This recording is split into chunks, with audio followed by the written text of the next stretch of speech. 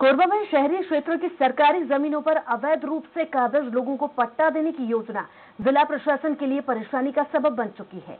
दरअसल ज़मीन का मालिकाना हक देने के लिए राज्य सरकार ने राजीव आश्रय योजना को लागू तो कर दिया है, लेकिन इसके क्रियान्वयन में ऐसे कई पेच हैं जो आम जनता की समझ से परे हैं, जिसके चलते उन्हें पट्टा लाभ नहीं मिल रहा है। परेशान लोग रोज़ाना कलेक्टर के पास जाकर समस्याओं के समाधान की मांग कर रहे हैं।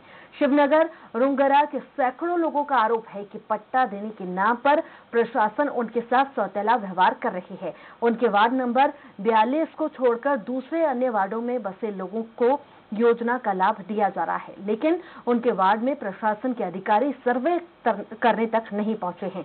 इधर संयुक्त तो कलेक्टर का कहना है कि रुंगरा के निवासी जिस ज़मीन पर काबिज हैं, वो सीएसईबी सिंचाई विभाग और राजस्व की है। ऐसे में सर्वे का काम कब तक शुरू नहीं हो सकता, तब तक वो, शुरू नहीं हो सकता है। फ़िलहाल एसडीएम ने मामले की जाँच कराने की बात कही है।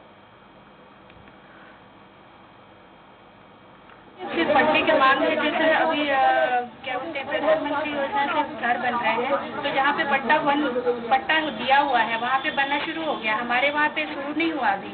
तो हमें ये है कि जहाँ पे पट्टा रहेगा उन्हीं को उन्हीं का घर बनेगा, फिर बाकी लोगों का नहीं बनेगा तो फिर हम लोग भी दूसरे दिनों से वहाँ पे वो साहब लोग बोले कि हम लोग फिर दोबारा दूसरे जगह कर करके दूसरे बार आएँगे करके बोले।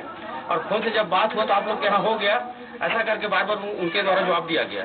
तब हम लोग पूरे मोहल्ले वासी एक हो करके पूरे कलेक्टर मैडम से ज्ञापन सौंपने आए हैं कि हमारे भी जब कई जगह जब पट्टा वितरण किया जा रहा है सर्वे किया जा रहा है तो हमारे यहाँ क्यों रूप से सर्वे किया जाना चाहिए।